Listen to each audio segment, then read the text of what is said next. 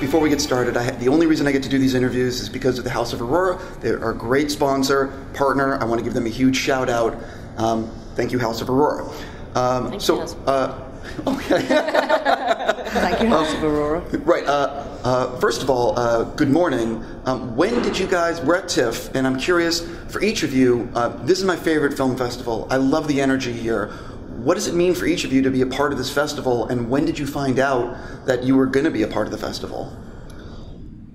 Ah, let's see. Um, I think it was about just over a month ago.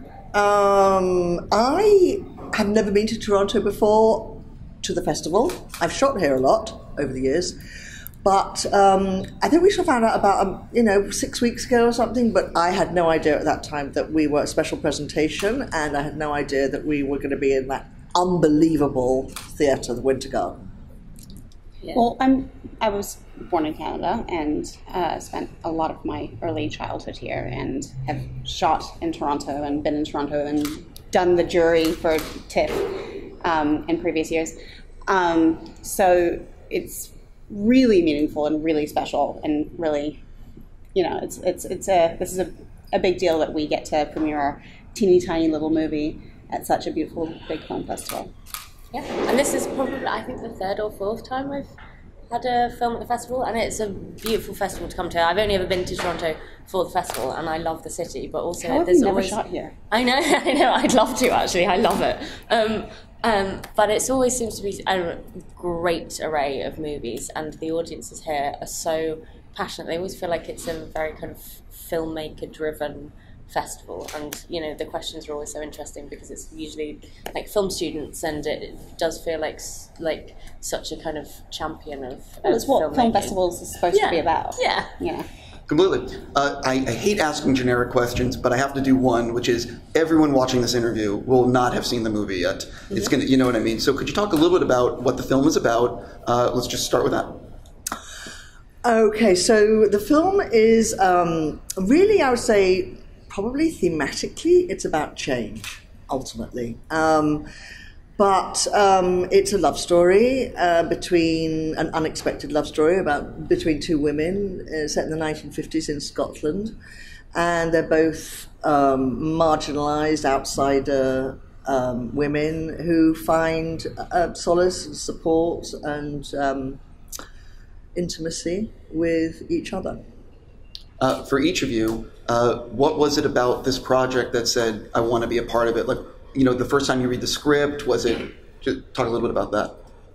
Um, when I read the script, I just thought it was a beautiful um, story about a relationship that really, um, from two lonely outsiders that come together and help each other, and um, and they leave the relationship it with far more self worth and confidence and understanding, and um, and are able to to take that into their future lives. And I thought, uh, and it has such a positive ending, and I think that is quite rare in stories, particularly set in this time about um, this kind of relationship. And I um, and so it was really beautiful to have this kind of story with such a positive message at the end.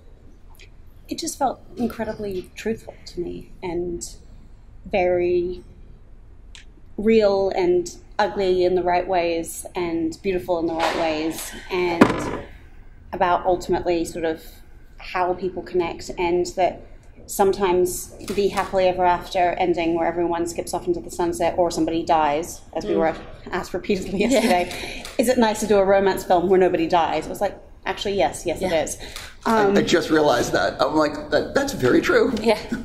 You know? uh, yeah, no one has to be punished, and uh, and uh, our film does not ultimately end with our two, you know, females living a happily ever after life together, but it ends with them both being set free in ways that are emotionally completely sort of impossible to imagine at the beginning of the film, and gives them courage and gives them new lives. And which is ultimately i mean isn't that kind of what love's about Completely. I, I, when I, I, I speak to a lot of actors, and everyone that I've spoken to has obviously a different process on set. Some people love silence. Some people love music. It's all about you know what makes them comfortable to get ready. how do you two like to work on set? And was it like a like a match, or was I like 7,000 live bees ready to sting the entire crew, chasing you around the swamps and lochs of Scotland Keeping you on in your the toes. rain. I, that, that actually really gets me going. right? It makes me really happy. Right. I also really enjoy waiting for bees to decide that they want to come out of their hives Right, because they don't like bad weather. right. I didn't think about any of that, and yes, that makes complete sense. And I like hot tea Right, but but seriously, because it's cold. right. But being being serious, do you like like the silence before you go on? Do you have like a thing where you're, like you're listening to music or? I have a couple of different sort of philosophies on that. One was from a very dear friend who directed the first play I was ever in, who said that you can't take the music on stage with you, so don't put it in your ears right when you're trying to prepare, and that like it's actually not necessarily helpful to sit with something that you cannot then take out on stage with you. However, the noise of being on a film set is extraordinary, and sometimes you do need to cocoon yourself. So um, I kind of go 50 50 on that one. and and for you? Um, I guess it depends on the project and the character and how it's how the crew as a whole is developing and the process of the director. So um, I I feel like it shifts all the time, but I always know I need to find a grounding in a reality of the scene that I'm in. It's like I need to know where everything is. Like it kind of, a, you know, it's, for me it ends up being all about props. It's like where am I? Where am, where is the physicality of what I'm in, and then I can move sort of from outwards in. in Sure. way. How, I'm curious the way you like to have the energy on set as a director, and has your process uh, changed throughout your career? Well, in this particular case, it was just such a fast and furious shoot that uh, there really wasn't a lot of time to, um, Process. yeah, to process. We were just, you know, we were just like just tunneling through. Um, ideally, I mean, in my ideal world, I love to have rehearsal time, and we were very fortunate in having that time because we didn't really have a lot of time to do much prep for specific scenes once we were on set. So it was a lot of talking and um, debating actually about what the intention was ultimately. And so we, so the process for me was in the prep. I would say more so than um, having to have anything specific. And also, we you know, we had. I- I think that in this particular case, we had to be very resourceful because we only had very limited locations. So we had to, you know, we were in such fast turnaround on mm. every scene from day to day, and we were shooting so quickly. So I was so thankful to have the prep time with Anna. And But that's Holly. also one of the really beautiful things about independent filmmaking is that you end up having to be more creatively resourceful because you don't have all the toys and you don't have all the money and there's no oh we'll come back and get it tomorrow or this location doesn't work we're going to find a new no you have what what you have and that's it. And you better get it and you better get it fast. And it makes people very quick on their feet and sometimes i think really inspirational things transpire in those sorts of quite tense situations that I think are actually kind of amazing, which you just don't have on a huge film mm-hmm. where you have where you can be sorry but a little bit lazy Sure. about your time and how mm-hmm. you manage it. Uh, yeah, I'm sure that on indie filmmaking, maybe it's more happy accidents because you're just barreling through, you know? Yeah, but also people just you know you end up it's filmmaking is a team sport. You end up going with whoever has the best idea, and that's not necessarily the person whose job it was to have that idea. It's whoever actually was like, oh hey, we could do this like this, and then suddenly the whole day is saved by you know one person who maybe didn't have that job title but had a good idea because they had eyes and they were paying attention and they cared. Sure. What did you learn from any early screenings uh, that impacted the finished film?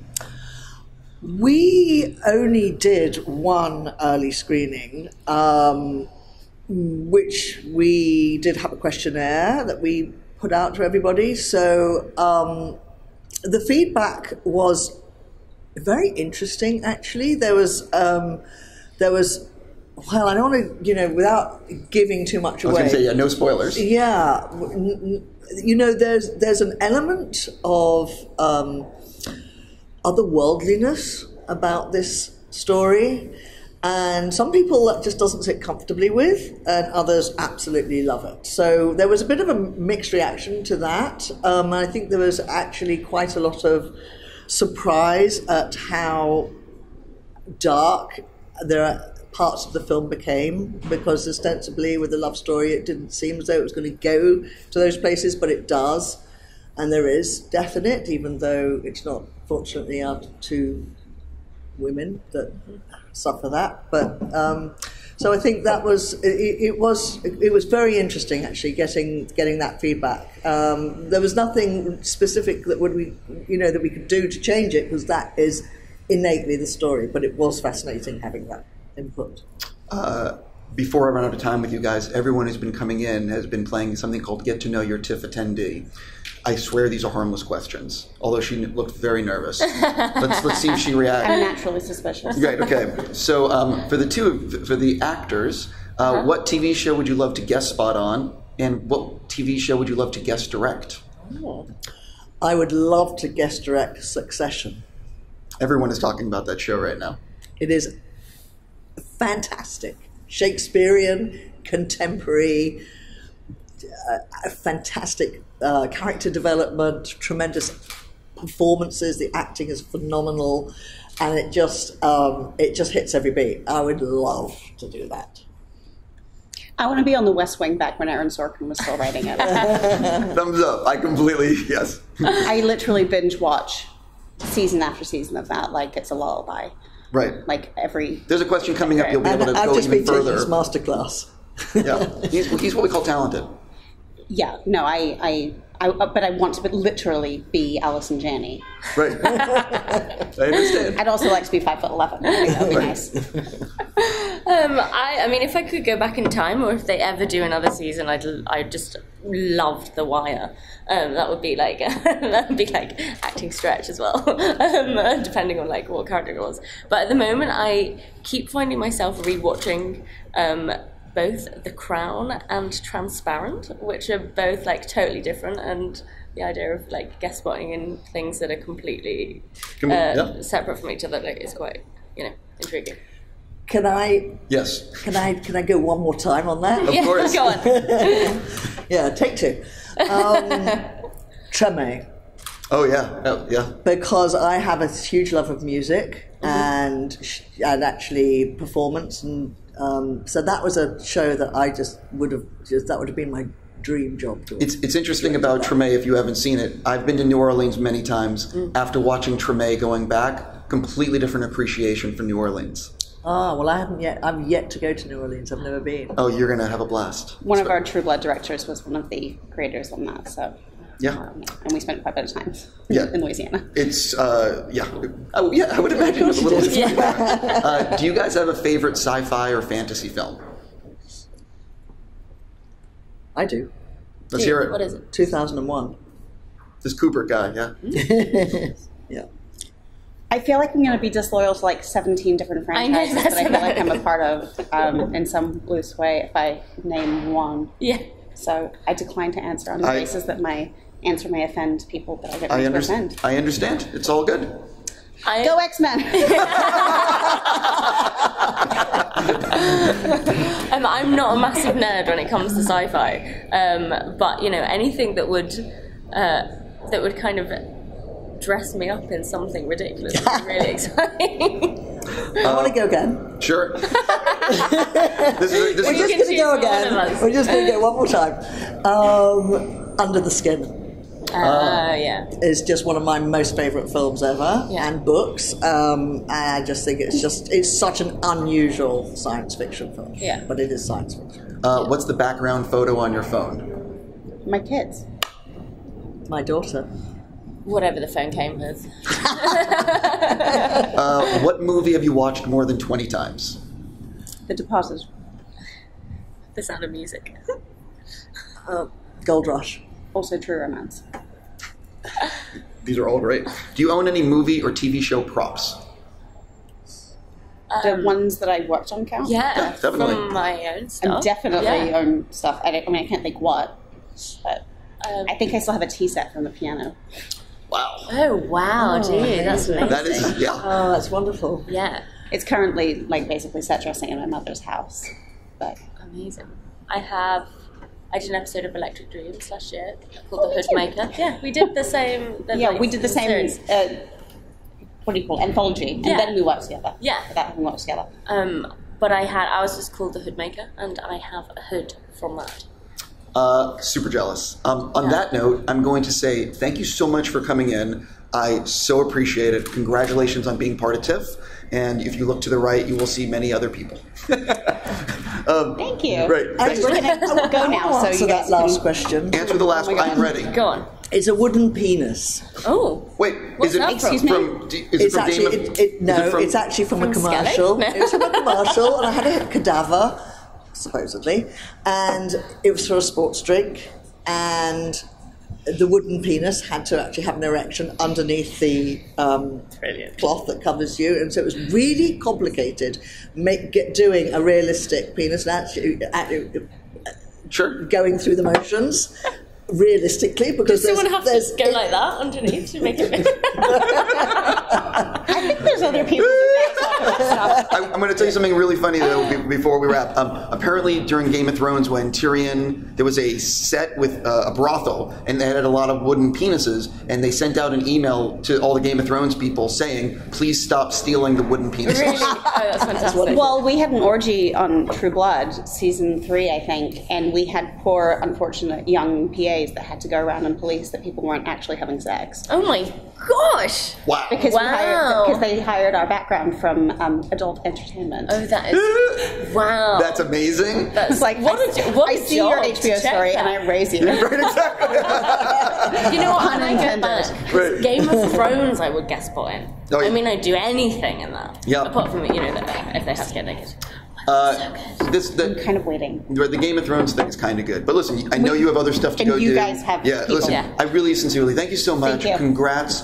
Uh, I'm super happy I could help promote the movie. Thank you so Thank much. you For very much. Thank you.